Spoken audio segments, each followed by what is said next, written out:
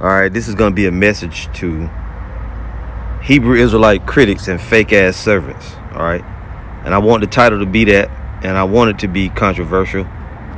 I wanted to catch your attention. So at, at the same time, while saying that, my apologies to anybody that may be offended by my use of the word ass. Anyway, all praise to Yahawah, Bahashem, Yahawashi. Double honor to the apostles and elders of Great Millstone. And this lesson is entitled Message to Hebrew Israelite Critics and Fake Ass Servants. All right, just like that. Fake ass servants. Now, there's a lot of people that come on the comment board. Uh, let me say it like this this truth is for the elect, it's for those who are searching for the, you know, for the truth of the Holy Bible you want the real name of the Heavenly Father and Son, right? And then you're going to do something with it. You're not just going to come and just watch a bunch of videos, take your damn clipboard and go around and mark, you know, in your in your profound knowledge, which is no knowledge, you're going to go around all the different Israelite groups and grade them on how they teach and what they did what they did wrong, they didn't do wrong. Meanwhile, you didn't do shit. Anyway, this this person's servant for the Ancient of Days, and I've had a conversation with him. You know, one or one or two occasions. I believe this. You know, the second time having a conversation with him. This is the second time right here, but the first time, you know, he left another comment which just maybe just block him altogether. Because when you, what we do is we ask questions on the comment board and we're abrasive on purpose. This is tactics. These are tactics that were taught to us by the apostles of Great Millstone. When you question people on the comment board, we want to see we're not so much as doing it for face value. We want to see what you know. We want to see what you're going to say. We ask you certain questions and we come at you certain ways so that you, in your zeal or lack thereof, you reveal yourself and we can know who you are because people hide behind avatars. People hide behind names, right? But the real proof is going and seeing, do they have any works? Do they have any videos? When do they open their channel up? Who are they watching? These are the real things that prove people. Now, I said all that to say when, when you come on the comment board and you open yourself up and you criticize or you become a critic yourself, you're opening yourself up also for scrutiny. Be aware of that. So from the, the comment board, this person's servant for the Ancient of Days, right? Who that shows you right there, he's not settled on a name. He don't even know what the name of the Father is. He told me his own self he calls him Ancient of Days so that he don't call him the wrong name. But then he watch a bunch of camps. Well, what the hell you watching for if you don't believe anybody got the truth or anybody got the true name? But going on, he says, I like that GMS don't teach the lost to call on Jesus. A lot of other camps do, and that's something they need. Salakia. And that's something they need to bring out against themselves as Israelites fishermen. So right away, you know this guy, he watches a bunch of different camps. That's already a mark against you because you don't know what's going on and this is the part of the confusion. So for the brothers and sisters that watch this you gotta you gotta understand watching them many different camps you know it, it should resonate in your mind right away or it should be confirmed in your brain right away. After you watch every camp once or twice you should start to see who got the who it is you should be watching. You israelite journeyman and what i mean by journeyman is those who a journeyman is a person like a guy that's been on different different teams. Like he never settled on one team you got certain quarterbacks that he went to one team, he didn't fit. He got cut. Went to another team, he didn't fit. He got cut. Went to another team, he didn't fit. He got cut. So he's a journeyman. Never really settling down, you know, like a Rolling Stone, like the old song goes, right? So this is a guy that's watching a bunch of different camps, but he always has his opinion. So he says, I like that GMS don't teach the lost to call on Jesus, which that's a good thing. A lot of other camps do, and that's something they need to bring out against themselves as Israelites fishermen. Now, I told a guy, and this is from a video that I did, it is the spirit that quickens, not precepts, right? I told him, I said, I mentioned you in this video. You call yourself a servant, yet your page is empty. No videos, no camp, no nothing. Commenting on videos and giving your opinion like some type of critic is played out. And it is played out. And we get tired of that. If you're going to watch the video, you're going to learn. You should be taking notes more than you making comments if you're trying to learn. But see, Jake, this thing, this social media has ruined these Israelites. It made you feel like your opinion is important. When we teach these videos, we're only on YouTube because that's a, a necessary evil for us to get the word of the Lord out. We're not here like other people on YouTube to see your cat go up and down the scratching post or to see your baby take his first steps or so we can have a blog and you can give your opinion on what you think. That's, that's not what we're here for. We're here to give you the message of the word of the Lord. So your your your opinion, your critique is really not needed.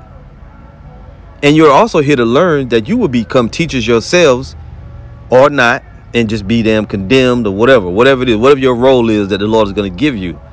You see, we're not here to be celebrated and lauded and praised and, and you know, magnified our own selves. But the word of the Lord is what receives the magnification and the glorification. So I have here Matthew 22 and 9. It says, Go ye therefore into the highways, and as many as ye shall find, bid to the marriage. Now, the Israelite men that's watching these videos, you're here to receive the, the truth, sure, but you're also here to see if the Lord is going to use you in the ministry.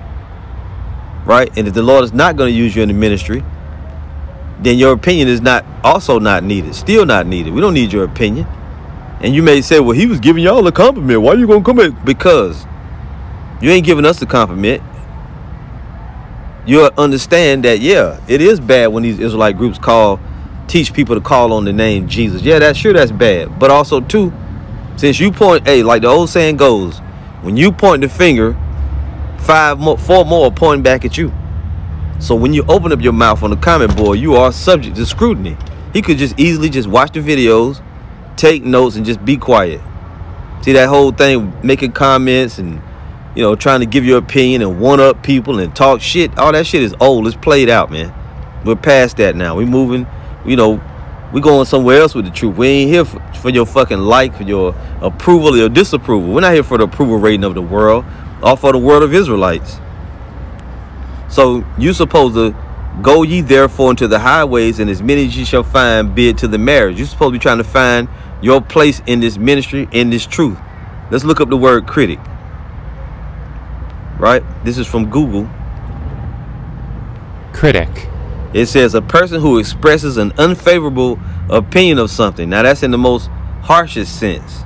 Because you got people that are movie critics, they go watch a movie to see what they find wrong with it, right? a food critic go and eat food at different restaurants and can tell you what's wrong with it. You know, like a, a Chef Ramsay type individual. Definition two says a person who judges the merits of literary, artistic, or musical works, especially one who does so professionally. And you and you see the meaning of that. What does being a critic mean?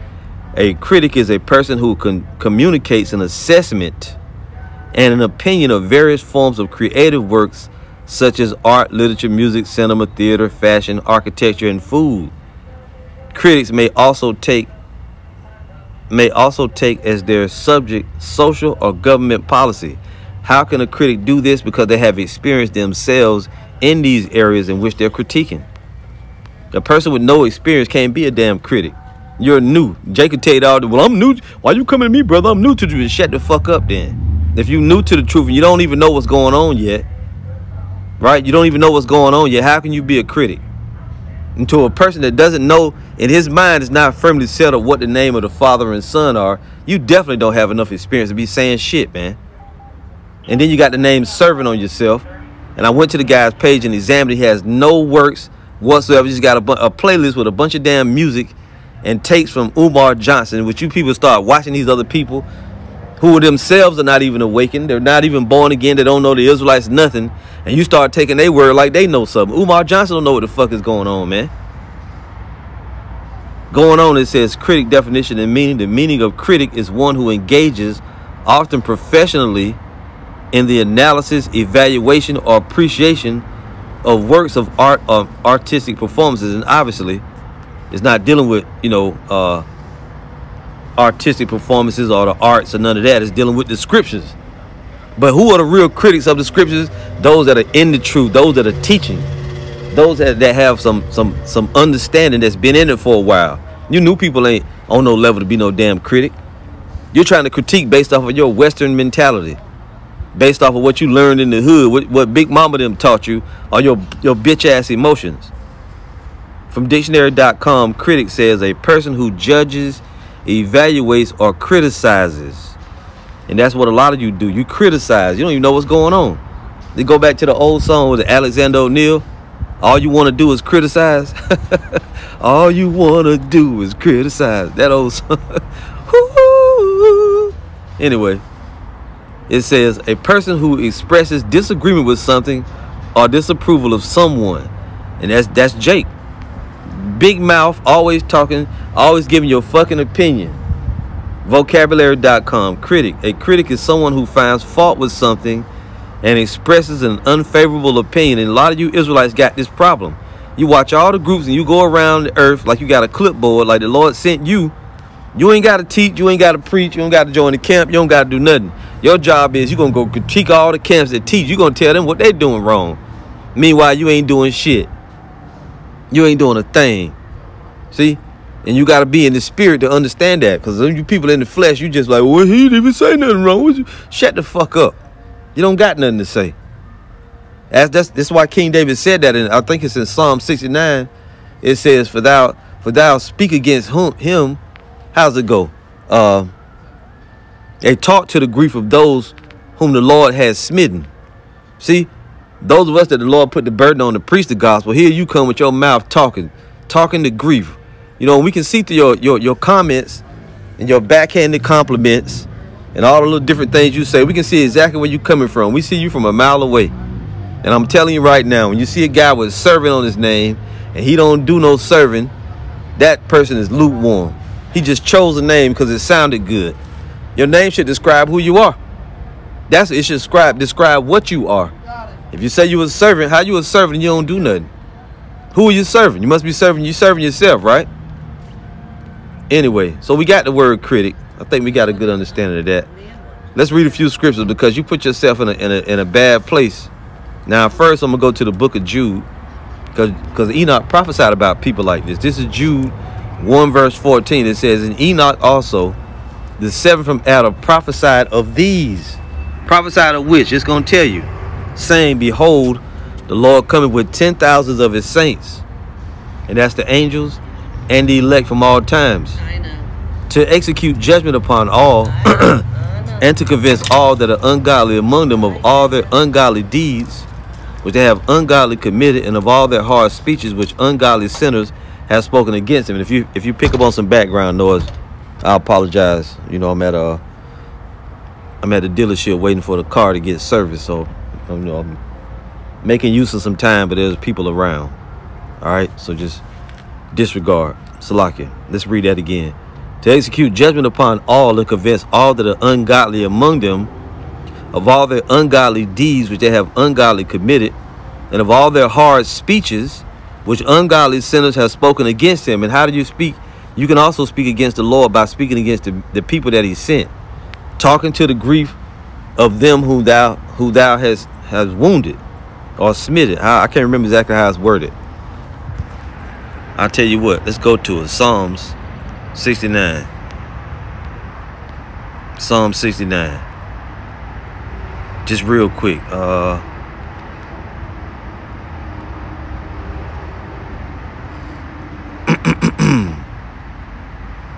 Right about verse 22. Uh, okay.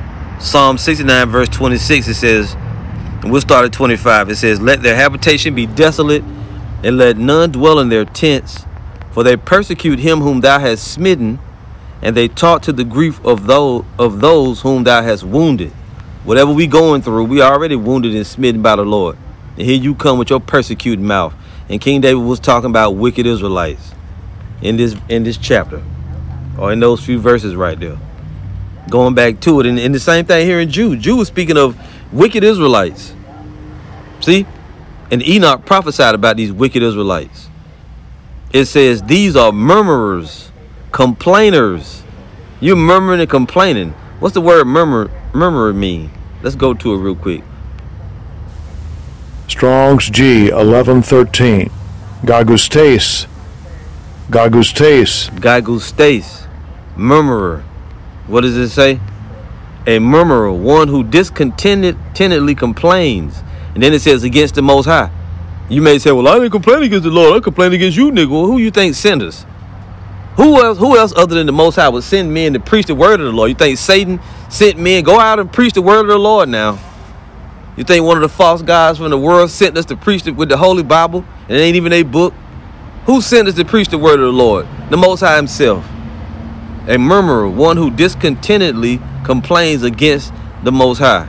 A grumbler, murmurer. See, you're grumbling, murmuring. Let's look it up.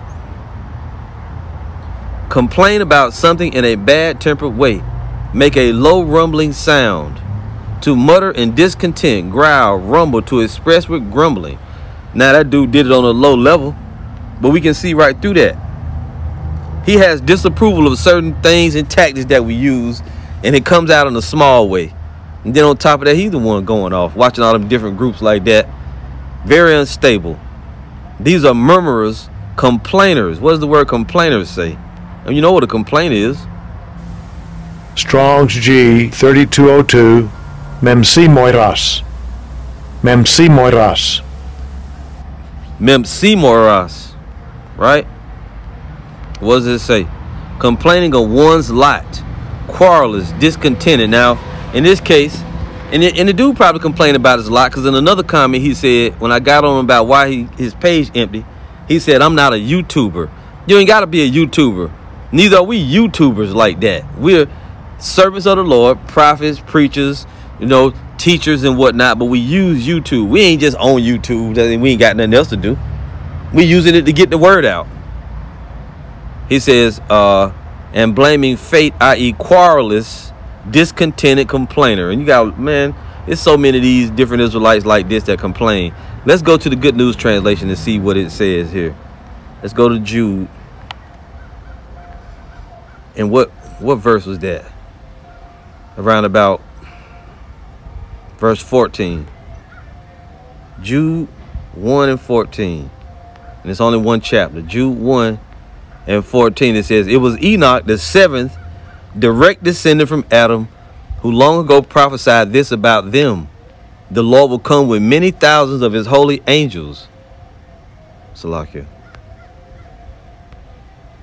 to bring judgment on all and condemn them all for their godless deeds they have performed and for all the terrible words that godless sinners have spoken against him.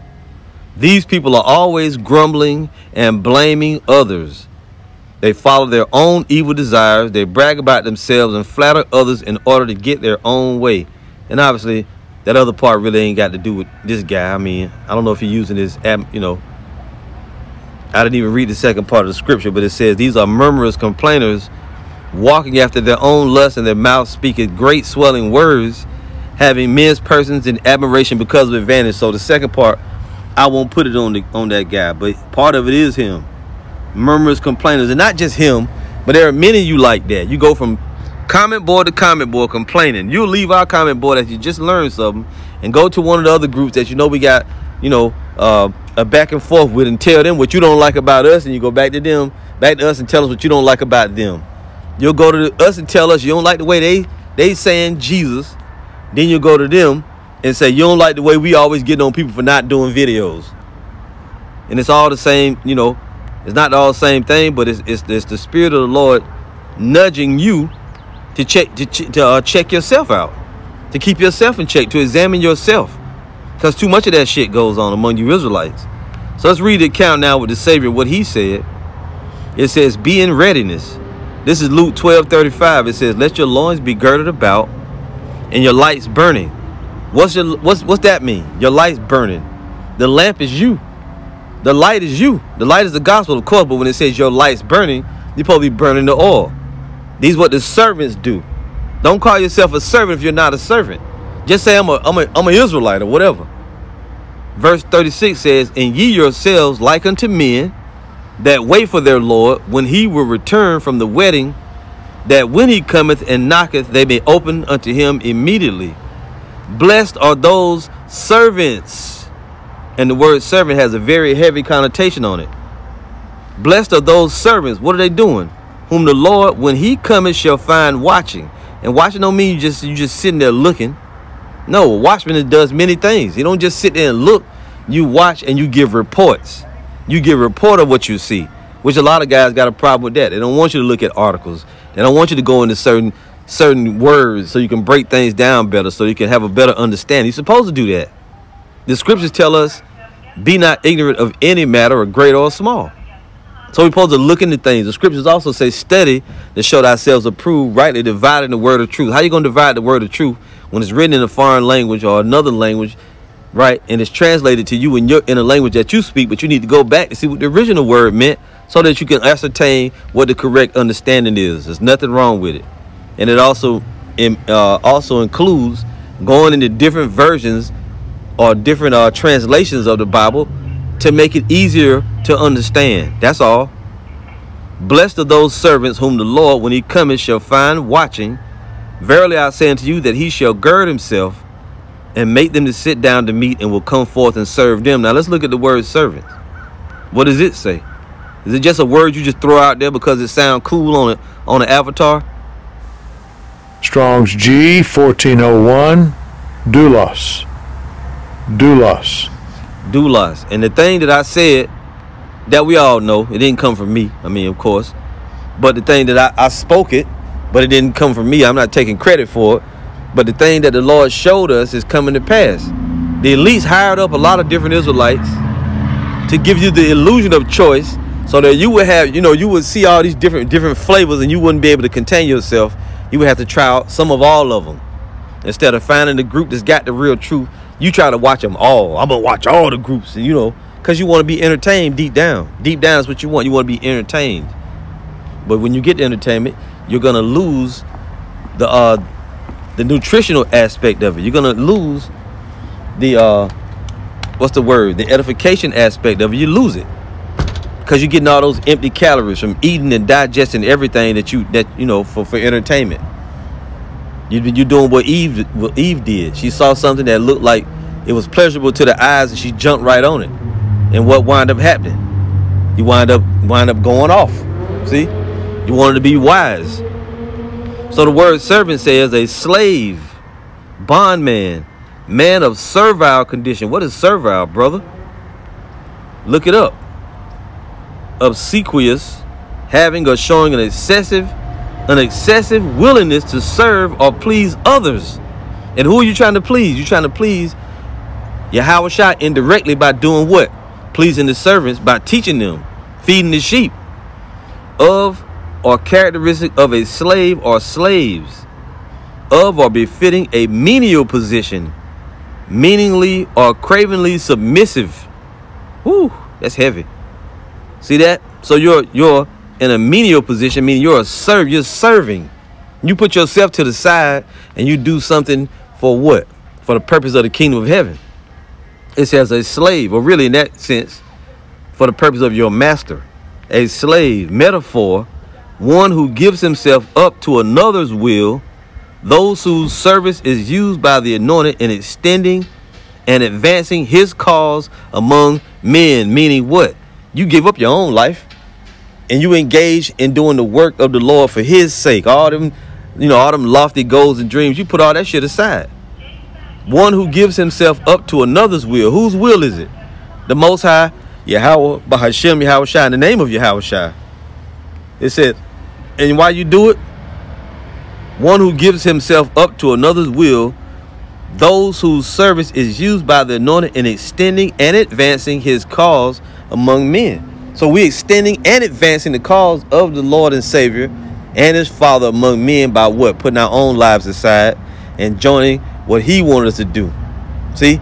Walking among the uh, walking among the uh, seaside, choosing out men, saying, Follow me.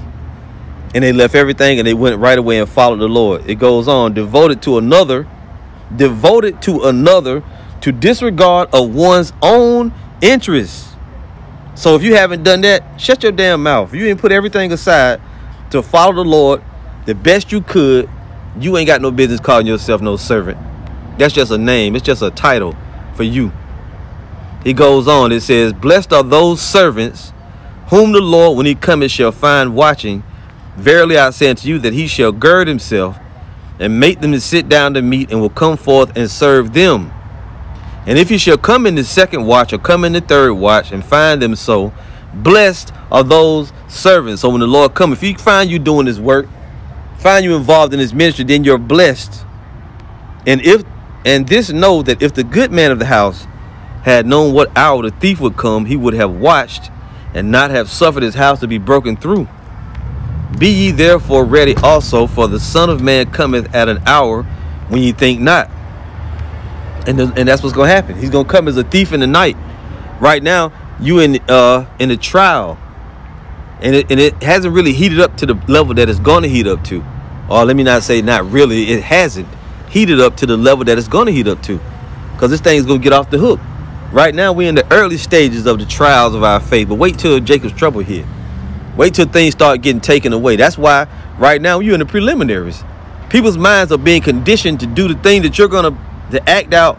To be your mind is being conditioned so that you're gonna act out the things that your faith requires or lack thereof in the time of Jacob's trouble. For example, the guys that are teaching that the MOTB is not the chip, and the people that's following them, they're preconditioning themselves to take the damn chip. They're convincing themselves, you know, that you can repent from it. So that way, when they wind up taking the shit, they're gonna feel good about it at first initially, but by the time they really realize or understand that you can't repent or you can't get it out, because how the hell you gonna be able to repent from taking the mark of the beast when you still got the shit? How how is that gonna occur? You gonna let these, them, these damn devils put the chip in your ass, and then you gonna say you can repent from it. But how you gonna repent when you still got the damn chip stuck in you? Because your tendons gonna wrap around that shit. It's gonna grow within you. It's gonna stay in you. You ain't gonna dig in your hand and get it out. Times ain't gonna be like they are now. You're gonna be in a time where you ain't gonna have medical care. You're not gonna have access to clean water and food and, and all types of devices and utensils that you got access to now. We going we gonna be going from place to place. Who knows what it's gonna be like? Like you know, really, you could be in the wilderness. You mean to tell me you're gonna be out in the wilderness? You know, took the devil chip. Now you're gonna dig in your hand with a stick. You're gonna dig in your hand with a stick and get the chip out. We go into a time where you get wounded, you might bleed out before you get damn medical attention. You sound like a fool. And you haven't really given it thought to exactly what you really, what you know and what you don't know. You haven't really given it thought. You haven't considered what this time coming is gonna be like. But back to the original point, you people are preconceiving yourselves to carry out the things that you're gonna do when the time comes. Most of you people we see, you're gonna take that damn mark of the beast, and you going and you you know listening to your leaders, listen to these little upstarts, and they themselves gonna take that shit too, because you can't you can't you really you can't see a time where all this convenience and all this luxury, you can't see a time where you're not gonna be a part of that. But that's what the kingdom of heaven is is that's coming. Jacob's trouble is gonna be about that. Learning how to get through on faith and most of you don't have faith. That's why you're gonna you're gonna wind up losing. But it's all good. Let's keep going. So verse 41 it says, Then Peter said unto him, Lord, speakest thou this parable unto us or even to all? And the Lord said, Who then is that faithful and wise steward? That's another word, steward. Because what is a steward? It's one who's left in authority of something that's not theirs, but to look after. We'll get the definition. Whom his Lord shall make ruler over his household to give them their portion of meat in due season. Let's go to the word steward in the Greek. Strong's G 3623 Oikonomos. Oikonomos. Oikoinamas, steward, right? And it says what? The manager of household or of household affairs. So when you come across this truth and it's imparted into you, the Lord is giving you a portion of his truth as a steward. And what are you supposed to do? You're supposed to take it and do something with it. It says, especially a steward, manager, superintendent, whether freeborn or as was usually the case, a free man or a slave, which the word slave going right back to servant, to whom the head of the house or proprietor has entrusted the management of his affairs.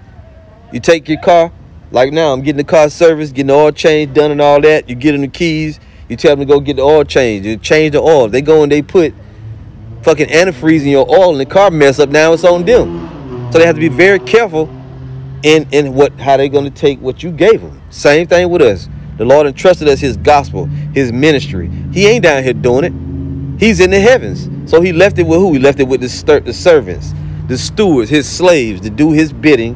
And we got to do it the way that he says, going on the heels of what Apostle Barber just talking about. Right? That spirit is back back now, getting on brothers. We get, and, and every one of us, we all got to dig in deep. We got to be more sharp. We got to study more. We got to read more. We got to bring out more lessons of edification other than the, you know, the layup and the slam dunk lessons where you just get the nigga woman on camera doing gang signs, little dumb shit. Because really, when I do videos like that, sometimes, you know, you make those because they're easy to make. But really, man, I, I we really value this, the videos where you're going into to, to more deep things. Prophecy is what's what's important. Not what the fucking nigga woman crow doing. Who gives a shit? And, I, and I'm saying that for my own self, getting on my own self. I want to ignore these these these bitches more. I want to ignore these people of the word more and dig into the word of the Lord. It goes on, it says, the care of receipts and expenditures and the duty, right here, the care of receipts and expenditures and the duty of dealing out the proper portion to every servant and even to the children not yet of age. So we got to look over the sheep, look over the flock, the congregation, right? The expenditures, the receipts, all of that. All that's on our plate. Not just walk around the earth giving our fucking opinion and critiquing. We ain't critics like, well, we critique one another and we do criti crit critique and criticize and rebuke other groups, but then we got the experience to do it. Some nigga with no salt in the game, no skin in the game, ain't never did nothing. You just hashed out an Israelite egg a week ago. Now you ready to tell everybody what they doing wrong. Like I said, like you the most high personal assistant. You walk around with a clipboard grading everybody else.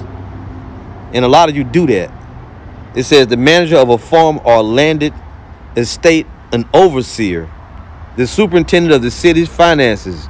You know, going on, it says metaphor, the apostles and other Christian teachers and bishops and overseers, which it should say Israelite.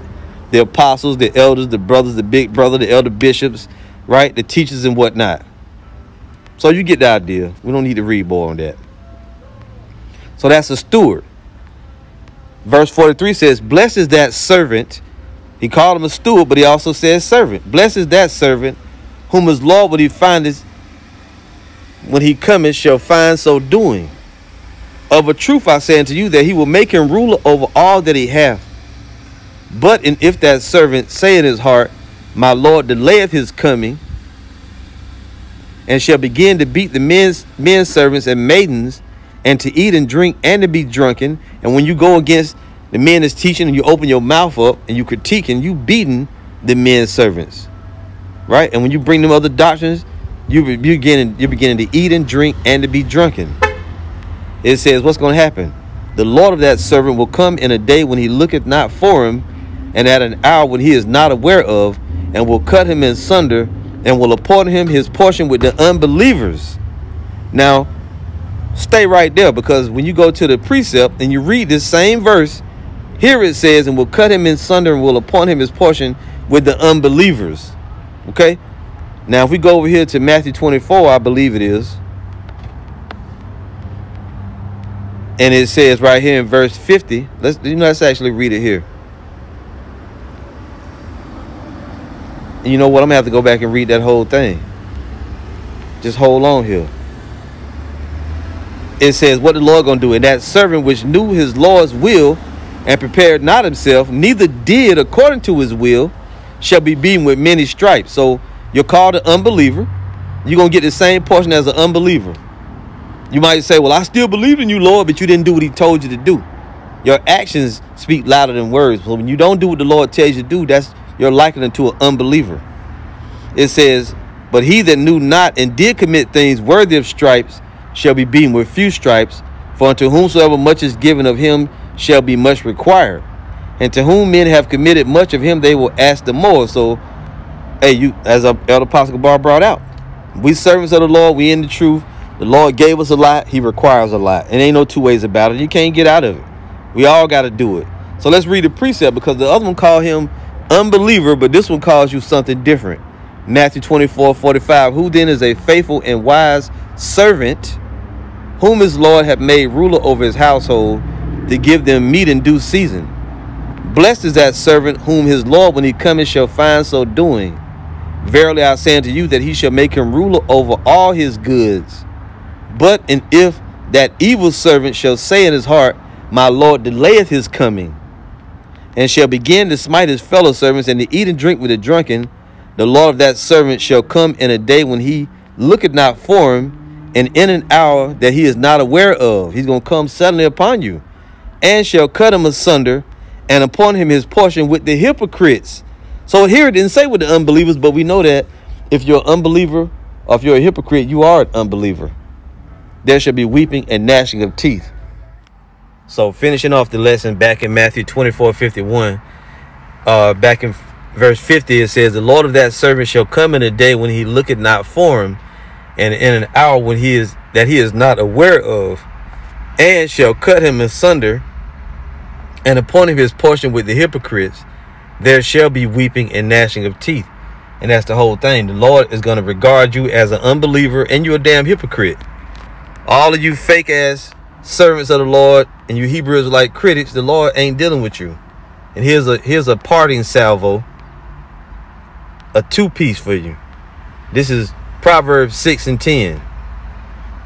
And we start at verse 9. It says, How long wilt thou sleep, O sluggard? Wilt thou arise out of thy sleep? Yet a little sleep, a little slumber, a little folding of the hands asleep. So shall thy poverty come as one that travaileth, and thy want as an unarmed man. Okay? And that goes into what? You not doing the work. You being a damn sluggard. A sluggard is a lazy person. If you go right here to the word sluggard, and we look it up, a lazy, sluggish person, a habitually lazy person. And in this case, you got a lot of Israelites that all they want to do is give their fucking opinion, and they, it's because you're lazy. At the end of the day, you don't have the spirit the, of the Lord on you. It's, it's impossible that a man would have the spirit of the Lord on and the Holy Spirit to teach, and you be able to overpower the spirit of the Lord. You just can't do it. Neither can you want out of your own want to do lessons, and the spirit of the Lord don't give you the utterance. You can't overpower to do lessons either because they're not going to come out right. So we understand it, but it's still our job to do what the Lord put on us to do. And he put us, you know, put us up to teach and feed the sheep, but also too to call out you fake ass servants. And you Hebrew Israelite critics. This is Proverbs 24, 33. Yet a little sleep, a little slumber, a little folding of the hands to sleep. What do you do when you're folding your hands? You sitting back in your beach chair, your lounge chair with your hands folded. You lay back in your cot, taking a damn nap. You slumbering. Yet a little sleep, a little slumber, a little folding of the hands to sleep. So shall thy poverty come as one that travaileth, and thy want as an unarmed man.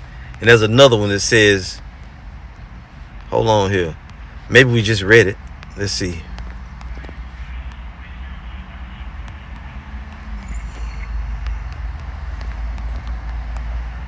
Let's see here. It says, yeah, well, you know, Proverbs 20 and 4, it says, the sluggard, the sluggish, lazy ass person will not plow by reason of the cold. What do you plow? This is the Lord's field. You're supposed to pick up the plow, plow in the Lord's field, right? Go into the vineyard. See, do the work. The sluggard will not plow by reason of the cold. Therefore shall he beg and harvest and have nothing. And what is the harvest? The harvest is the end of the world. So if you beg and have nothing, that means the Lord going to destroy you. He's going to leave you here. He's going to melt you.